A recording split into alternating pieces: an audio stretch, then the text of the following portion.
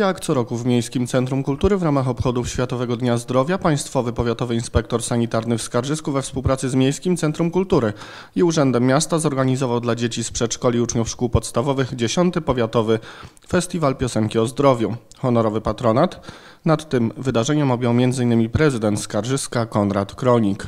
Celem konkursu było zainteresowanie dzieci i ich opiekunów tematyką zdrowia oraz aktywizowanie środowisk przedszkolnych i szkolnych w zakresie działań prozdrowotnych. Tematyka przygotowanych utworów dotyczyła szeroko rozumianego zdrowia, obejmowała zagadnienia związane z dbałością o zdrowie i nawiązywała do aktualnego hasła roku 2017 poświęconego depresji. Rywalizacja konkursowa odbyła się w dwóch kategoriach przedszkola i szkoły podstawowe. Wszystkie występy były wspaniale przygotowane i dopracowane zarówno pod względem walorów artystycznych, jak i edukacyjnych. Podczas dobrej zabawy dzieci promowały zdrowy styl życia. Komisja konkursowa w składzie Katarzyna Michnowska-Małek, dyrektor MCK, Barbara Lipnicka, pracownik Polskiego Czerwonego Krzyża w Skarżysku i Ewa Noworycka, pracownik Powiatowej Stacji Sanitarno-Epidemiologicznej w Skarżysku, uznała, że wszystkie utwory były wykonane na równym, bardzo wysokim poziomie, a opiekunowie zespołów włożyli ogromny trud w przygotowanie dzieci do występów. Wszyscy uczestnicy festiwalu otrzymali nagrody rzeczowe ufundowane przez gminę Skarżysko. Organizatorzy dziękują wszystkim wykonawcom i gratulują laureatom. Dziękują również sponsorowi nagród oraz wszystkim, którzy przyczynili się do organizacji konkursu.